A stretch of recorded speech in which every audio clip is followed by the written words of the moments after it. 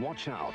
The telethon is coming. Telethon 90 is going to be a fabulous, fabulous, fantabulous extravaganza of entertainment to raise millions and zillions and squillions of pounds for charity. And I'm not one to exaggerate.